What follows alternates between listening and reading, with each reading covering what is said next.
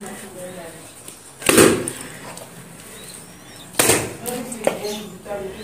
you.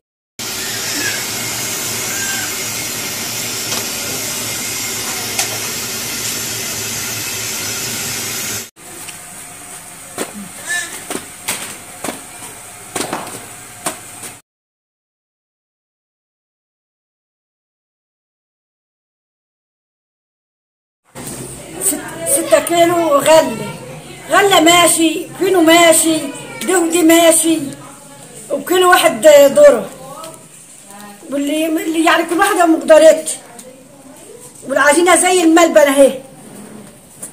ولا بتحط مية ولا بتحط زيت ولا أي حاجة. لا ولا مية. ولا زيت.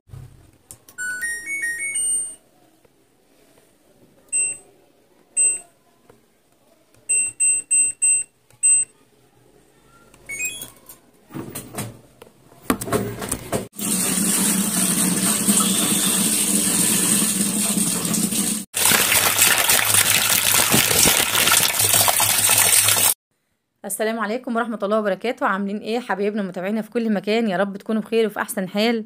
فيديو النهارده إن شاء الله هنعمل مع بعض العيش الفلاحي أو العيش البلدي في الفرن على طريقة أخت زوجي عمتي ربنا يبارك فيها ويديها الصحة والعافية. اللهم آمين. وطبعا قبل ما أروح زي ما تبقى كده شايفين شفت الغسيل الأول وروقت شقتي. وبعد كده رحت بقى على أخت زوجي في بيتها علشان نعمل مع بعض العيش الفلاحي. يلا بقى كده وقبل ما نبدأ في تفاصيل فيديو النهارده نحب نقول اللهم صل وسلم ومجد وبارك على سيدنا محمد صلاة تفرج بها الهم وتزيح بها الغم وتسدد بها الدين وتحقق بها الآمال. اللهم آمين يا رب العالمين.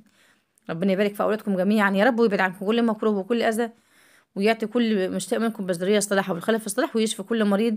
يا رب العالمين. والسنة الجاية إن شاء الله تبقى أحسن عليكم جميعا.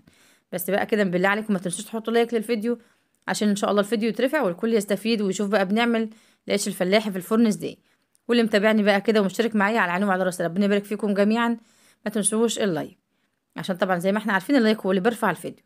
طبعا دول ستة كيلو آه، دقيق ممكن تحطيهم غلة ممكن تحطيهم الدقيق اللي هو آه، بتاع المعجنات اللي هو آه، إحنا طبعا عندنا هنا بنقول عليه فينو أو زيرو آه، أو السبع سنابل أو اللي هو متعدد الاستخدامات. يعني ده بيبقى آه ليه برضو للعجين حاطين هنا ستة كيلو دقيق وممكن تحطيهم آه فينو على غلة. يعني ممكن نحطوا اللي هو الدقيق اللي هو آه الزيرو أو الدقيق اللي هو السبع سنابل ممكن نحطهم تلاتة فينو وتلاتة غلة الغلة اللي هي القمح عشان إخواتنا بره يبقى عارفين. آه الغلة اللي هي عندنا إحنا بنقول عليها آه بنقول الغلة عندكم بتقولوا قمح. تلاتة كيلو من الدقيق دوت على تلاتة كيلو فينو وبنحط عليهم كيلو ذرة. بعد كده بقى المية بتبقى دافية عشان طبعا الجو بيبقى برد ودخلنا على يعني إحنا في فصل الشتاء. فبنحط المية بتبقى دافية زي ما أنتوا شفتوا كده كانت عمتي عاملة المية السخنة وكنا آه يعني بنخليها كده تكون دافية وبنحط على آه العجين. طبعا حطينا الأول حاجة شوية مية دافية دوبنا فيهم مكعب من الخميرة البيرة. ممكن تحطي خميرة فورية برضو آه على شوية سكر على شوية ملح. طبعا أنا قلت لعمتي أدوبهم في بعض كده في الطبق فهي قالت لي لأ فحطيتهم زي ما أنتوا شفتوا كده في أول الفيديو. طبعا أنا بحترم أي حد أو رأي أي حد حتى لو أنا عارفة الحاجة بتبقى إيه لازم أحترم أي يعني رأي أي حد بيقول لي حاجة. وطبعا الواحد يعني ده كده ويبقى أنت كمان يعني مش تقولي بقى إن أنا عارفة ولا ولازم إن إحنا نعمل كده لأ سيبي كده لما تبقى مع, مع أي حد وبالذات لما يكون ناس كده محترمة وست كده زي والدتك زي عمتك زي حماتك آه حسسيهم كده إن أنت ولا كأنك عارفة حاجة واحترم رأيهم ورأيهم برضه يبقى زي العسل ورأيهم صح برضه. وكل حاجة ولها أكتر من يعني أكتر من طريقة أنت لك طريقة وهي لها طريقة والاتنين صح. بس لما تيجي كده تتعاملي مع حد وخاصة زي ما قلت لك كده الناس اللي هي اللي هم ربنا يبارك فيهم يا رب ويديهم الصحة وال- والعافية. حسسيهم إن أنت عادي وحاضر ونعم ولا كأنك أنت آه عارفة حاجة خالص. وطبعا ده كله بتبقى مش هقولك ده أنت بتقل من نفسك بالعكس ده, ده أدبك واحترامك آه بيخليك إن أنت آه بتبقي أحسن كمان. يعني مش تقولي بقى إن أنا أقول مش عارفة حاجة لا لما حاضر ونعم أحسن كمان من كأنك أنت عارفة الحاجة دي بتبقى إزاي. طبعا عملنا العجينة اهو طبعا سيبناه ساعتين آه، دي برضو آه، عمتي اخت زوجي برضو التانية ربنا يديها الصحة يا رب. آه، جت اهيت برضو عشان تساعدنا وتعمل معانا. طبعا هنا سيبنا العجينة ساعتين غطينا بقى عليها بالغطا بس كده وسبناها آه، ده طبعا المكان اللي إحنا آه، بنخبز فيه أو ده مكان الفرن. ده كده مخزن أو شادر يعني عند عمتي شادر اسمه شادر. فحاطين بقى كده الفرن وحاطين فيه حاجتهم ومخزن يعني. والفرن زي ما أنتوا شفتوا كده بيعملوا فيه حاجة الخبيز. ده طبعا كده الكراتين ديت بنحطها أو ممكن تكون خشب أو ممكن تكون آه، كراتين آه، ممكن أطباق الحلويات اللي إحنا بنجيبها ديت بنشيل من عليها الحتة اللي بتبقى اللي هي بتلمع ديت أو بتبقى آه، وصل لها الحلويات وبتبقى تحتها كرتون ما بتبقاش يعني بتبقى حلوة للخبيز. طبعا حطينا بقى كده ده اللي إحنا نخلناه أو العمات التانية ديت نخلته كانت النخالة اللي هي بتاعة القمح أو الغلة. لما بنعمل الدقيق الغلة بيطلع منه ال- القمح دوت فده إحنا بقى بنحطه على على الكراتين عشان نحط عليها العجين. طبعا أول رغيف عمتي بتعمله بتحطه على ال- المطرحة اللي هي أول رغيف هتخبزه عشان طبعا هو اللي بتبدأ بيه هي حطاه عند الفرن فبتقرصه الأول. وبعد كده بقى زي ما أنتوا شايفين اهيت بتوزع بقى كده طبعا إحنا بنفرش بنسيب سكة إن هي تعدي منها عشان تقرص على الكراتين ديت. زي ما قلت لكم بنحط ممكن دقيق على على الردة ديت بنقلبهم على بعض وبنفردهم على الكراتين. وادي بقى زي ما أنتوا شايفين اهيت العجينة مش محتاجة لا مية ولا زيت زي ما بنيجي نقرص نحط مية ونحط زيت. العجينه بسم الله ما شاء الله.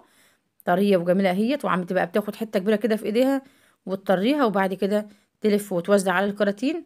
وطبعا هي لما بتقعد بقى إحنا يعني هتشوفوا ده كله بنعمله إزاي. والعجين خمر وجميله بسم الله ما شاء الله. عجنته لو حطت على وشه مية ولا حطت على وشه زيت ولا أي حاجة ولا دقيق وغطته وخمر وبسم الله ما شاء الله. طبعا هي على طول بتعمل العيش دوت يعني هي معروفة بالعيش دوت جميل.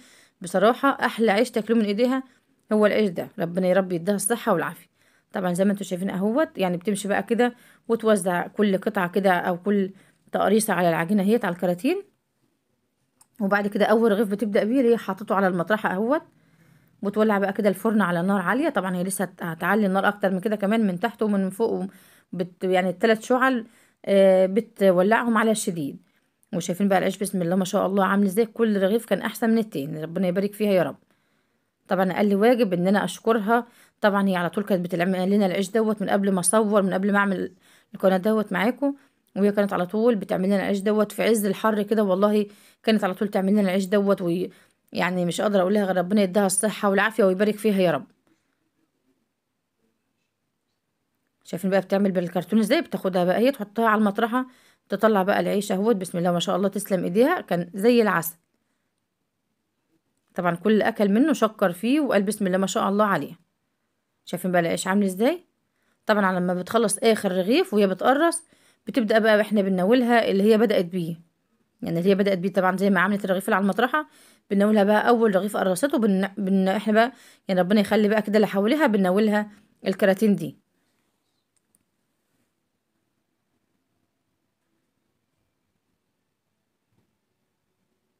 طبعا زي ما قلت لكم طريقتها سهلة وجميلة وبسيطة واللي عايز بقى يعمله يعمله في البيت بطريقة حلوة. هاتي نص الكمية هاتي ثلاثة دي اللي هو ال- اللي إحنا بنستعمله في كل حاجة دوت اللي هو عند ال- البقال. هاتي 3 كيلو منه آه، على نص كيلو ذرة آه، وحطيهم. ممكن تحطي لو عندك غلة هاتي. اللي ما عندهاش غلة خالص ولا ما عندهاش الحاجات اللي إحنا عندنا في الأرياف هاتي 3 كيلو آه، من اللي هو في المحلات أو السوبر ماركت وحط عليهم نص كيلو آه، ذرة وقلبهم على بعض ومكعب خميرة فورية آه، أو كيس خميرة فورية وحطهم على بعض وشوية سكر وشوية ملح ويديكي برضو العجين ده.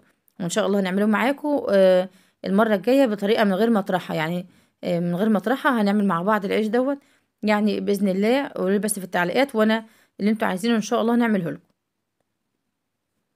وأنا عملته برضو معاكم قبل كده في القناه برضو عملت معاكم العيش وكان جميل. طبعا الموجود زي ما قلت لكم لأي حد بيقف ويناولها.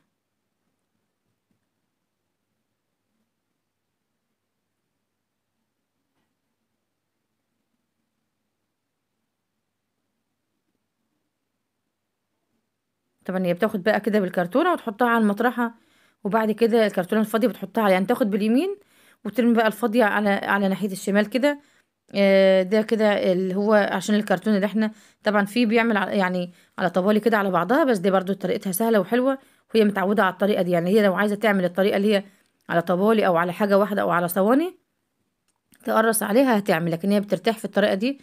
أي كراتين أي عند آه، خشب عندهم صغير هي بتعينه للحاجات دي. أطباق حلويات زي ما قلت لكم برضو ده كله بينفع لل- للعيش أو بتعينه بتحتفظ بيه وتعينه بقى كده عشان تقرص عليه العيش شايفين بقى العيش بسم الله ما شاء الله عامل إزاي؟ يعني زي ما أنتوا شايفين الصورة خير دليل من غير ما اتكلم شايفين بقى العيش شكله عامل إزاي. طبعا في الجو البرد دوت يعني سيبناه ساعتين لما خمر لكن في الصيف بيبقى أقل من كده.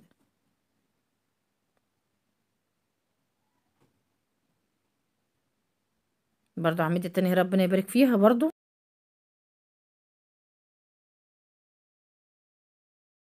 بتلم العيش برضو اهيت ربنا يبارك فيها عمتي التانية اهيت. وزي ما أنتوا شايفين طبعا بنحطه على قفصة دي قفصة اللي هي بتاعت العيش عندها متوفرة يعني أكتر من واحد في البيت فبتطلع ممكن تبقى تفرشي ملاية تفرشي حاجة عندك وتحطي عليها العيش اللي انت بتطلعيه. لكن متوفر عندهم الحاجات ديت قفصة العيش فهي بتطلع وتحط عليها.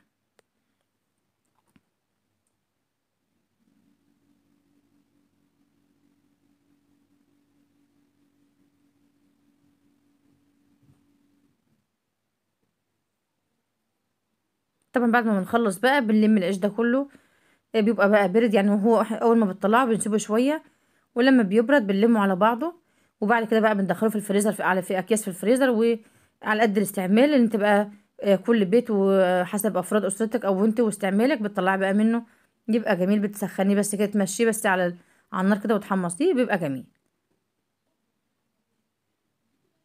شايفين بقى العيش عامل إزاي؟ مش عايزة أقول لك يعني كمان التصوير بعيد لو قربنا كمان منه هتلاقوه بسم الله ما شاء الله.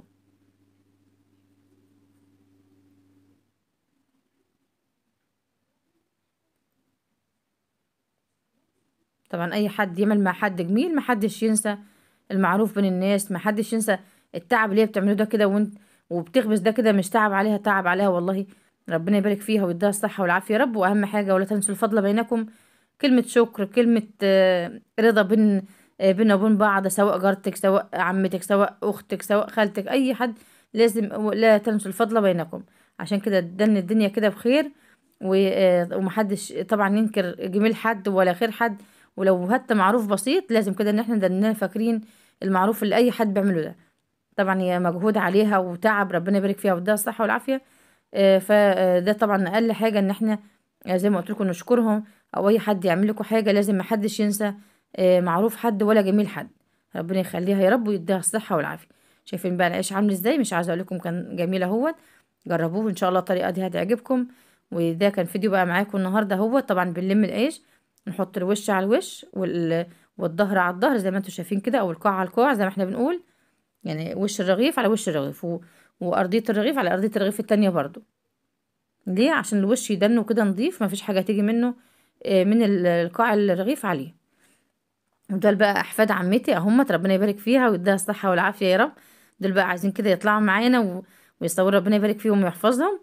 آه، ده ختمت بقى معاكم بالعسولة ديت ربنا يحفظها يا رب.